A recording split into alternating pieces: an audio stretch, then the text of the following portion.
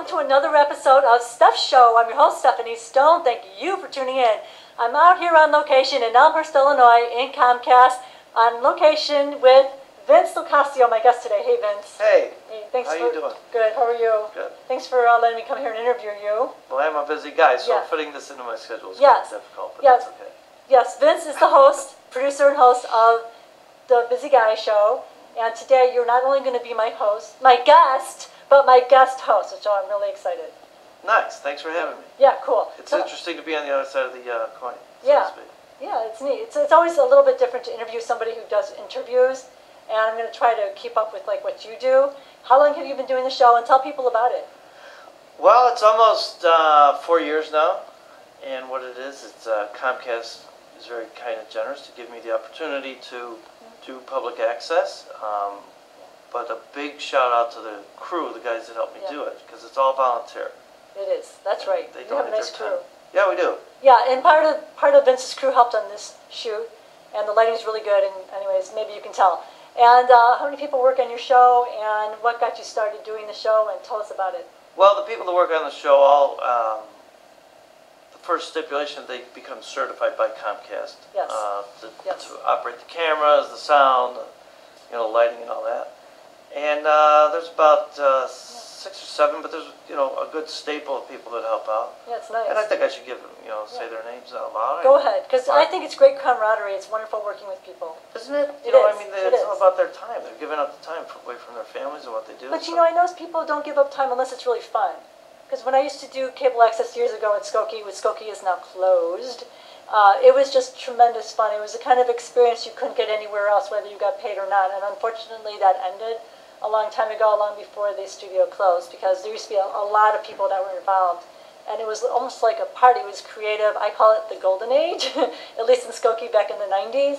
So I don't know if it's like that for you now, but go ahead and name Well, everybody who I'll say, I'll your show. try to say, uh, I've got Mark Radabaugh, Tony O, Tony O who stayed here today to help, Mike Mike Ritt, uh, Ed Mueller, Lee and Jeremy that are with Comcast, um, Rick Opperman, Ray Pysek, Al Stash has helped in the past, uh, Rachel Radabaugh, and I hope I'm not leaving anybody out, I'm sure I am, but all these people have always helped me out. Yeah. You know, I think something that, uh, we should talk about how, you know, Skokie closed, but I think a Yeah. big part of uh, what's going on here, and you know as well as I do, that it used to be, 20 years ago, if I told you we had a TV show, you'd be like, wow. Well, yeah. People can make a TV show on their phones now, you know, and broadcast It's it. amazing. There was a, a documentary that won Best Documentary Academy Award, and part of it was taped on his iPhone. It was a documentary about a, uh, a singer in South that's very popular in South Africa, and I forgot the name of the movie. But um, we're taping. It's August 2014. By the way, can I just take this opportunity right now to also say that coming up later in the show, I'm going to show a 1970s summer shirt. It's like a little retro thing, and I think you'll find it fun. I have one of those in my car. but- Yeah, okay, it's cool. he looks, you look great in the midriff, by the way, with you know the whole thing showing. Show off your tattoos and everything, Yeah. and your piercings and whatever. So go on. You were talking about. I don't know, where were we? Yeah, well, we were talking. About the crew and about how people can, can, uh, you know, make shows just on their phones right now. Yeah, But this is a very professional atmosphere, the It lighting, is. the sound and all that, you know, and uh, it's Yeah. nice. Maybe you out there watching have made a show, or if you like to do cable access, come on down, right? Yeah, but It's in Elmhurst right. We're in Elmhurst right now. Mount Prospect, I guess, is another location where you can get certified. I've been told that cable Yeah. access is like showing home movies in your closet. Mm.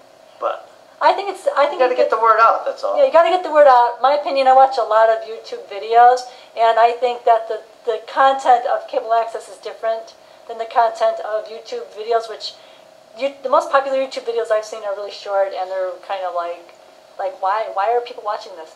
Yeah. And then they go viral. yeah, it's really neat. It's like kind of like really quirky. Well, I guess cable access is quirky anyway. I'd like my show to go viral. Yeah, hey, I think there's two people that watch it now. talk talk about your show. It's called "It's a Busy." You're a busy guy. Well, I'm a busy guy. Everybody's busy, but productive is good, anyways. Uh, what I've done, I've taken subjects that I like, and that's the beauty of it. Whatever I like, I can do. You know, if I want to stand on my head and swallow golf balls, I can do that. I think should. I haven't tried that yet, but I like the Beatles, so I had American English on. I had, you know, I like Oh, yeah. Schwinn Stingrays, the old uh, bikes. I had guys that were collectors of those on. tonight I had a guy, uh, Michael Dorfman, that Michael Dorfman. owns a drum company and he manufactures drums now. Cool. You know. So you like drums? Yeah, I do. I like Yeah. music. Do you play drums? I do. Do you ever play it on your show? I haven't. I played the guitar quite a bit though in the show. And do you write music? Do you play by ear? Do you? No, I cover. You know what they say. I play other people's music. Okay. But I like, like I said, I like the Beatles, like the old rock and roll stuff. And also on your show, you walk off at the end.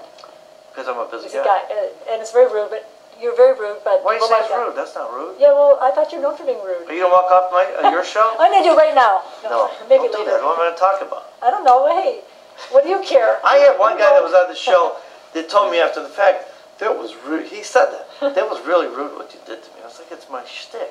Yeah, that's your and then he finally got over it. But Did you decide ahead of time before you did the show? Um, I guess in 2010 is when you started your show. about yeah. Is that how you decide? Did you decide before you started the show that you were going to be like rude and that was going to be your shtick? No, I don't know how that one came to me, but you know, you sit there and think of ideas. I got a million ideas that I haven't even put to use yet that I want to do on the show. But I, what I'd like to do, Yeah. and I'll eventually do, is I'll take uh, it, uh, Jimmy Kimmel's job, Jimmy Fallon. I'm gonna take all your jobs. Watch. Yeah, just watch. I think Jimmy Fallon's really talented. I, Yes. I, I don't. I actually I watch him on YouTube, and I haven't. I don't have a TV. um, lucky but- you. So there you go. You're not but missing I know I'm missing cable access. Oh my You're gosh. missing the busy guy though, but you can see on YouTube too. Yeah, YouTube. Oh my gosh, there's such talent. Um, both professional people who are on TV and non-professionals. There's some really talented people out there. Um, well, speaking of talented, as we're taping August 2014, Robin Williams recently died, Yeah. and uh, we want to talk about that. That, um, well, if anything, you know, I mean, I'm sure it'll happen that his legacy is, is in his talent. You know, it'd be sad if his, his people bring up the fact that he committed suicide, so all Yeah. that.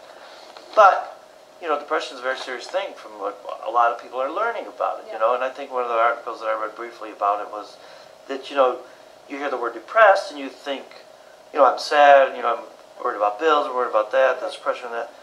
Depression is all, you know, is a whole different thing. It's Yeah. not just about being sad, and it's, uh, It's a physical. Uh, yeah, I guess there's a lot tied to it. You know, plus, I guess he was addicted to drugs before, got off of that, got off of alcohol. It's just um, very sad situation. But his Yeah. legacy is. Incredible. Yeah. I was in line at the post office in Skokie, and there was a lady in front of me. See my picture on the wall? I saw your picture, and uh, right after the show, I'm calling the police, so it'll all be Okay. taken care of. And you Oh, they actually they're outside waiting for me already. His picture will be off the wall at the post office. Um, a lady was opening a magazine, and it showed all the movies that Robin Williams has made or been in, and it's like a lot. And she, it was an older woman, probably maybe like 80, and next to her was a, a li- young lady in her 20s, and she was looking at it with this lady, and she's like, "My sister and I, we were just so sad. He was our favorite, and this is so, so awful. And she's so young, and this other lady's such an age difference. And you're looking at all these, and I felt the same way. And it's like, Yeah. you know, what, what a loss. Plus with social media now, I mean, I, I there was things, you know, like his, I guess his daughter posted certain things, and then people were saying nasty things on social media about, you know, the oh, situation, all that. So it's, you know, this whole world of technology and instant gratification of, of things and news that has to come out right away.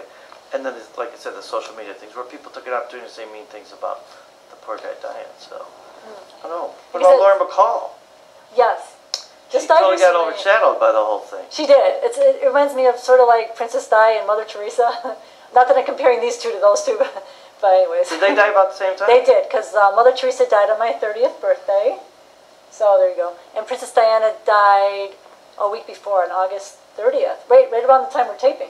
Yeah, Gosh, can you believe it?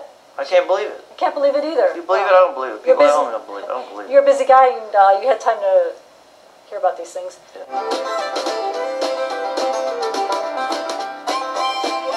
You want to talk a little bit more about your show, and then um, Well, I think, um, yeah, I'll talk a little bit